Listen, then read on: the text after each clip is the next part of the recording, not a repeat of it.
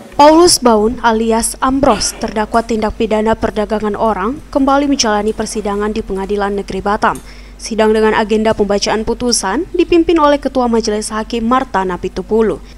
Dalam amar putusannya, Marta Napitupulu selaku Ketua Majelis Hakim mengatakan, terdakwa Paulus Baun alias Ambros telah terbukti bersalah melanggar pasal 2 Jungto Pasal 17 Undang-Undang RI Nomor 21 Tahun 2007 tentang pemberantasan tindak pidana perdagangan orang Jungto Pasal 55 ayat 1 ke 1 KU Pidana. Marta menegaskan, selain melanggar dakwaan dari jaksa penuntut umum, perbuatan terdakwa juga meresahkan masyarakat, sehingga tidak ada alasan pemaaf untuk membebaskan terdakwa dari segala jeratan hukum.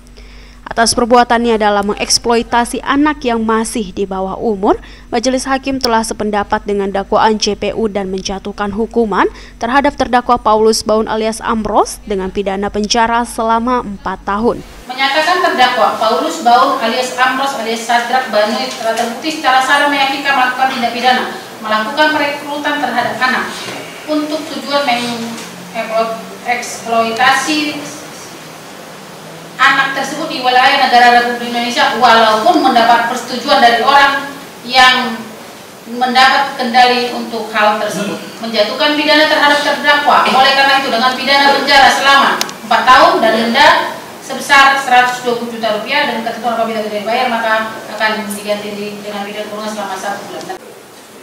Marta menambahkan, selain hukuman penjara, terdakwa juga dihukum untuk membayar denda sebesar 120 juta rupiah, subsidi satu bulan kurungan.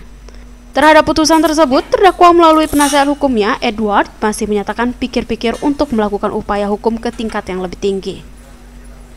Dari Batam, Kepulauan Riau, Pascal Riang Hepat, melaporkan.